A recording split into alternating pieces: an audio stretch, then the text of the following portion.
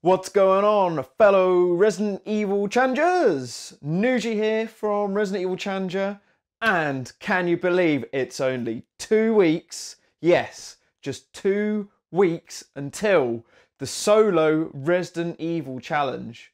Like, where has the time gone?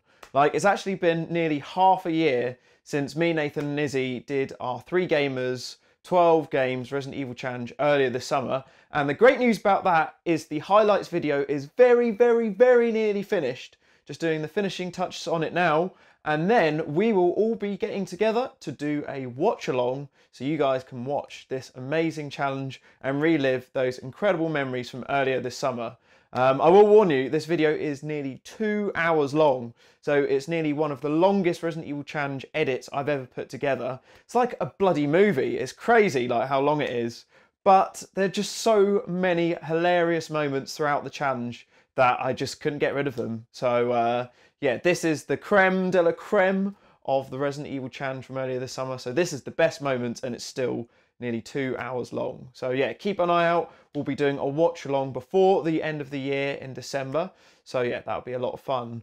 But yes, let's keep our focus on the challenge, which is just two weeks away. So as a reminder for those of you who might have been out of the loop or forgot about what's going on, this is me reattempting a challenge from nearly 15 years ago. And this is just me attempting to beat seven Resident Evil games by myself within 24 hours. So you probably remember me attempting it. I've only attempted it twice before. Once I failed, and then the second time I was the first gamer to beat seven Resident Evil games. Well, I think I don't know. No one's uh, no one's disproved that theory since. But I do believe that I was the first gamer to beat seven Resident Evil games in 24 hours, and I've never attempted it since.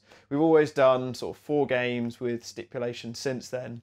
So this will be reattempting it for the first time since 2017. And the games are very, very similar to what I attempted back then. So I'll be doing Resident Evil 0, Resident Evil 1 Remake, Resident Evil 2 Original, Resident Evil 3 Original, Resident Evil 3 Remake, Resident Evil Code Veronica, and Resident Evil 4. So it's pretty much the same games that I attempted back then, but swapping out Deadly Silence for 3 Remake.